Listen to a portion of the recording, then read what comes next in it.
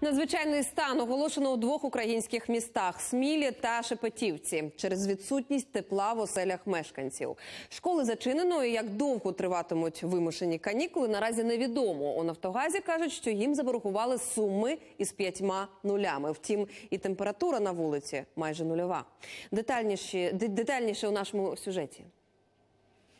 На вулиці навіть в день температура наближається до нульової позначки, а тепла в Смілі так і немає. Через холоднечу в місті закрили всі школи та садочки. Електрообігрівачі не дозволяють нагріти приміщення навіть до 15-16 градусів. Сьогодні голова Асоціації міст України Віталій Кличко заявив, що через відсутність тепла у Смілі та Шепетівці оголошено надзвичайний стан.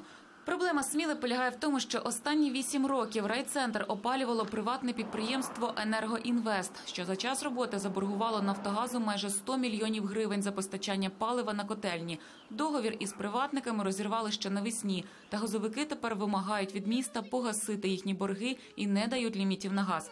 Нині голова смілянських теплових мереж перебуває в Києві та намагається врегулювати ситуацію. Ось що він каже.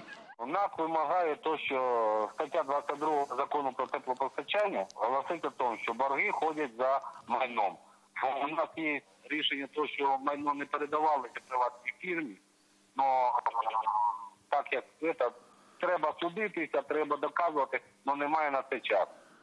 Подібна ситуація і в Шепетівці на Хмельниччині. Люди так само стали заручниками конфлікту між міською владою та комерційним постачальником тепла. У 2011-му міська рада уклала договір із компанією Шепетівка Енергоінвест та передала на обслуговування усі вісім котелень. На початку жовтня підприємство прозвітувало про готовність до опалювального сезону, запевнивши, що газ є. Насправді Нафтогаз лімітів не виділив. Теж через борги майже 60 мільйонів гривень. На сьогоднішній день ми з вами всі являємось заручниками співзасновників ТОВ Шепетівка Енергоінвест, які, не виконуючи свої зобов'язання по концесійному договору, по договору, який в них, по договорах, які в них є з вами, ставлять Шепетівку на межі замерзання і на межу знищення її перспективи. Чиновники називають ситуацію критичною і вже закликали людей зібратися в середу на віче. Анастасія Старовець, Станіслав Кухарчук, подробиці телеканал Інтер.